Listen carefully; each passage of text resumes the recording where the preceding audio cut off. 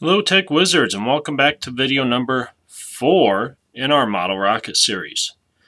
In this video we will be attaching our fins to the body tube of our model rocket. The materials we're going to need for this step are our body tube that has the motor block installed. We're going to need our fins. We're going to need our instruction sheet We're also going to need one of our good sharp pencils, our super glue gel, our Elmer's glue all, our piece of aluminum angle, and a slip of paper that has a nice straight edge on it. Let's get started. First thing to decide is whether you want your rocket to have three fins, four fins, or five fins. We need at least three fins to keep our rocket stable as it's flying through the air. And obviously, the more fins we add, the more stable it's likely to be.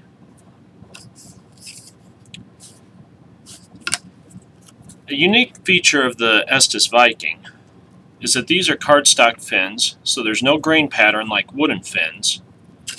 And what that means is we can attach these fins in several different configurations. On my rocket here, I have them attached with the longest side attached to the body, such as this. We can also attach them with one of the shorter sides to the body, swept backwards. We can turn them over and attach them so the fins are swept upwards. We can attach, attach them this direction, this direction, this direction. If you look in your instruction sheet, Estes was nice enough to give us a couple different ideas for attaching our fins to our body tube. What this lets us do is make each of our rockets unique to our to us. So we each have our own customized rocket to fly. For this video, I'll be attaching my fins to the body tube in this orientation, similar to the example here.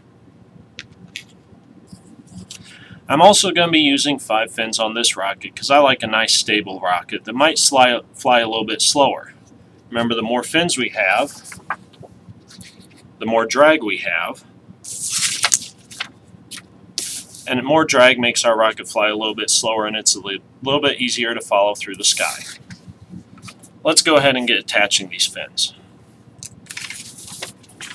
We're going to pull out our instruction sheet. Along the bottom of our instruction sheet there's a little diagram for three fins, four fins, or five fins. I'm going to be using the five fins. I'm going to take the end of my body tube that's labeled bottom I'm going to place it on the circle on the instruction sheet. And everywhere there's an arrow, I'm going white arrow, I'm going to make a little mark with my pencil. This is going to be the marks that tell me where to place my fins on the body tube. There we go, five marks. There's also another small arrow. It's a color darkened in black arrow. I'm going to make a mark at that arrow also. That's going to be where our launch lug will go. Alright, we'll get the instruction sheet out of the way. If you look, hopefully you can see on camera without it being too uh, bright there. But I have marks around the bottom of my body too. There we go. Now, I'm going to take my aluminum angle my body tube sits nicely inside the aluminum angle and it gives me a nice straight edge to draw a line with. So everywhere I have a mark, I'm going to trace that mark all the way up the side of the body tube and create a line. Then I'll rotate it, make another line,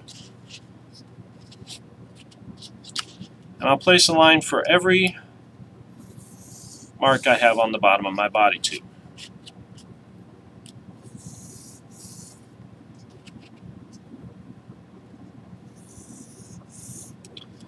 These are going to be my guidelines for installing my fins.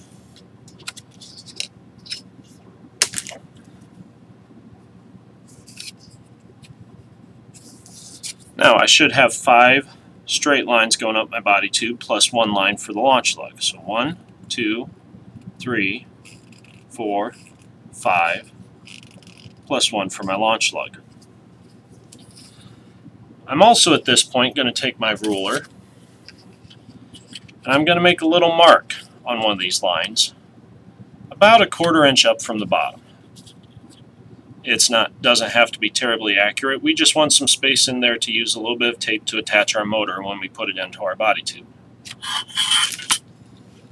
Now how am I going to transfer this mark around to all the lines? That's where this slip of paper comes in. All I have to do is wrap this slip of paper around so that the edges line up and so that the bottom edge is on the mark on the body tube. Then I can transfer the line a quarter inch up all the way around onto all of my marks.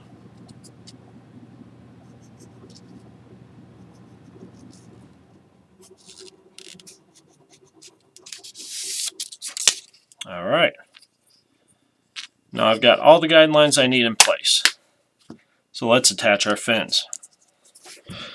There's a little bit of a trick to attaching these fins to our body tube. We're going to be using our Elmer's Glue All and our Super Glue Gel. The Elmer's Glue All is going to be doing the brunt of the work and it's going to be holding the fins on the most. And our Super Glue Gel is going to just help hold them on until the glue all can set up and dry all the way. So to attach our fins, we're going to take our fin, we're going to decide which edge is going to attach to the body tube. We're going to put just a little bit of glue on the edge of that fin. And we want to leave a little bit at either end to attach with our super glue. Now's the fun part. We get to take our finger and we get to smear that glue just over the edge. We don't want a whole lot, we just want a little bit. If you put too much glue on the edge of your fin, it's going to get soggy and it's going to end up falling off before it can set up.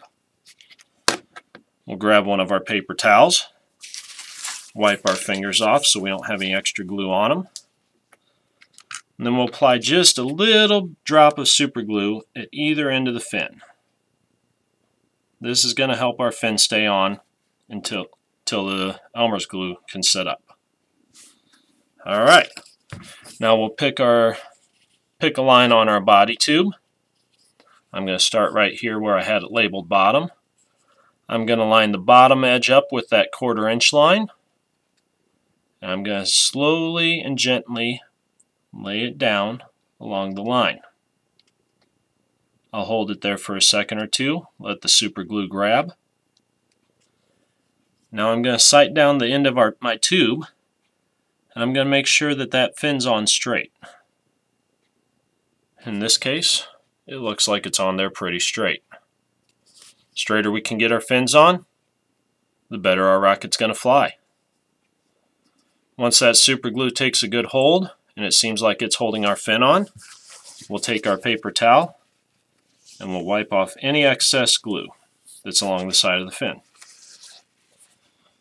And there we have it. We've attached the first fin to our body tube.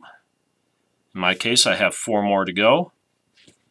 You might have two, you might have three, or you might have four, depending on how many fins you're putting on your rocket. We'll see you guys in the next video.